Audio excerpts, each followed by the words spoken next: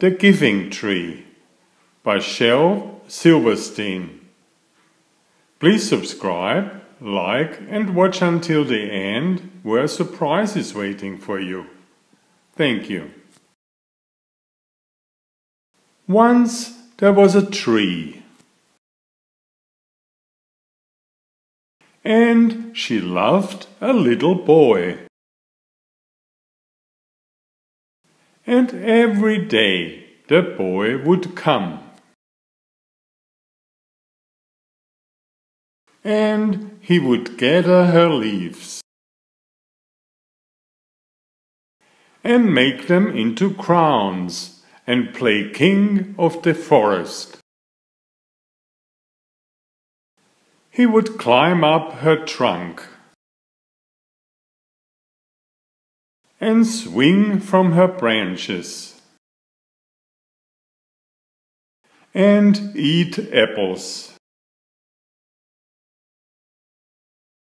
And they would play hide and go seek. And when he was tired, he would sleep in her shade. And the boy loved the tree very much, and the tree was happy. But time went by, and the boy grew older. And the tree was often alone. Then one day the boy came to the tree, and the tree said, Come, boy, come and climb up my trunk, and swing from my branches, and eat apples, and play in my shade, and be happy. I'm too big to climb and play, said the boy. I want to buy things and have fun. I want some money. Can you give me some money? I'm sorry, said the tree, but I have no money. I have only leaves and apples. Take my apples, boy, and sell them in the city.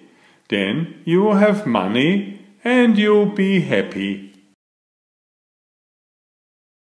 And so the boy climbed up the tree and gathered her apples and carried them away and the tree was happy. But the boy stayed away for a long time, and the tree was sad. And then one day the boy came back, and the tree shook with joy. And she said, Come, boy, climb up my trunk and swing from my branches and be happy.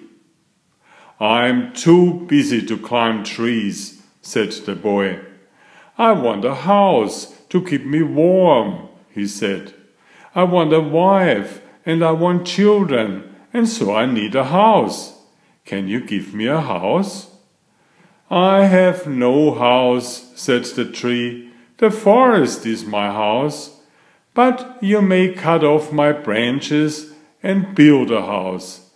Then you will be happy.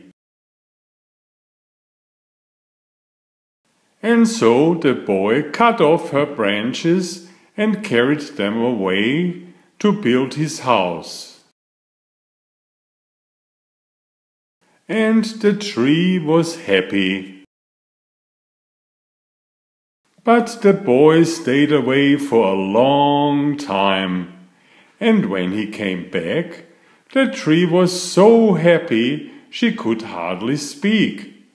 Come, boy, she whispered, come and play. I'm too old and sad to play, said the boy. I want a boat that will take me far away from here. Can you give me a boat? Cut down my trunk and make a boat, said the tree. Then you can sail away and be happy. And so the boy cut down her trunk and made a boat and sailed away. And the tree was happy, but not really. And after a long time the boy came back again. I'm sorry, boy, said the tree, but I have nothing left to give you. My apples are gone. My teeth are too weak for apples, said the boy. My branches are gone, said the tree. You cannot swing on them. I'm too old to swing on branches, said the boy. My trunk is gone, said the tree. You cannot climb. I'm too tired to climb, said the boy. I'm sorry, sighed the tree. I wish that I could give you something, but I have nothing left. I'm just an old stump. I'm sorry. I don't need very much now, said the boy. Just a quiet place to sit and rest. I'm very tired. Well, said the tree, straightening herself up as much as she could.